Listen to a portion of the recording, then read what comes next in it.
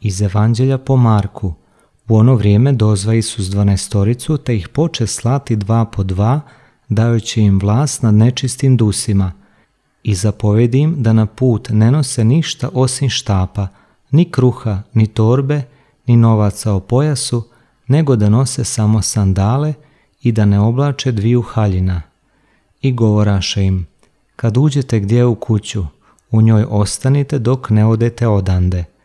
Ako vas gdje ne prime, te vas ne poslušaju, iziđite odande i otresite prah ispod svojih nogu njima za svjedočanstvo.